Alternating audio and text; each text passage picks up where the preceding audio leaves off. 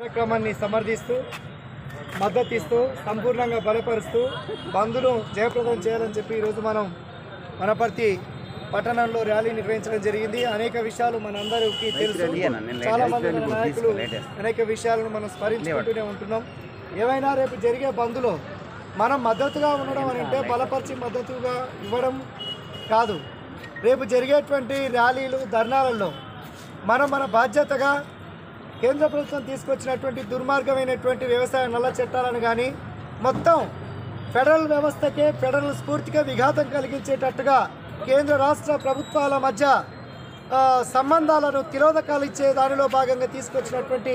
పన్నుల విధానం కానీ లేదా విద్యుత్ సవరణ చట్టాల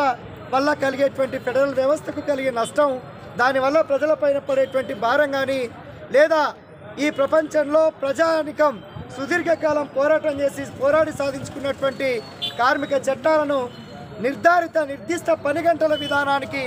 తిరోధకాలు ఇస్తూ ఈరోజు దుర్మార్గమైనటువంటి గేజ్ కోడ్ బిల్లుల పేరిట ఈ కేంద్ర ప్రభుత్వం ఈ చట్టాలను తీసుకురా సవరించి వేతన బిల్లులను తీసుకురావడం జరుగుతూ ఉంది. దీనిల వల్ల కలిగేటువంటి నష్టాలు కానీ మొత్తం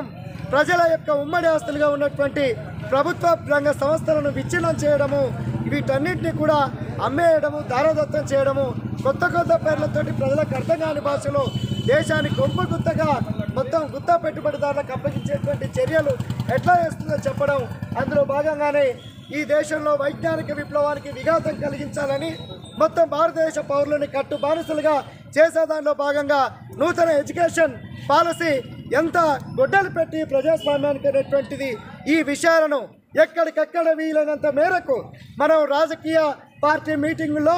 రాజకీయ నాయకులు ఉపన్యాసాలు ఇవ్వచ్చు. మన బాధ్యతగా ఉపాధ్యాయులుగా సామాజిక బాధ్యత కలిగినటువంటి సంఘంలో పనిచేస్తున్నటువంటి గురుతర బాధ్యతగా మనం భావించి వాళ్ళకు మనం రేపు ఈ అన్ని అంశాలపైన ఒక పాఠాన్ని బోధించేటువంటి బాధ్యత